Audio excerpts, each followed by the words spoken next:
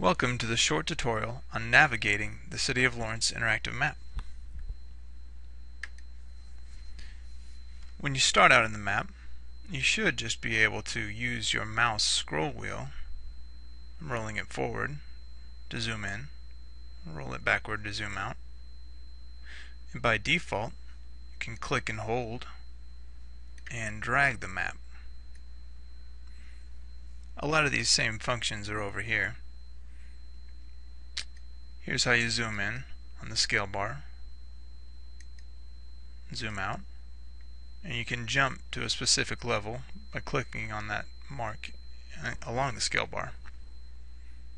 You can go to all the previous views with this previous previous extent arrow or you can go all the way back. To pan around the map you can click on this circle up here and the globe gets you back to the starting point. If you want to zoom into a specific area, you can use the uh, magnifying glass with the plus sign. Once you have that tool selected, click and hold and drag a box, and it zooms you in.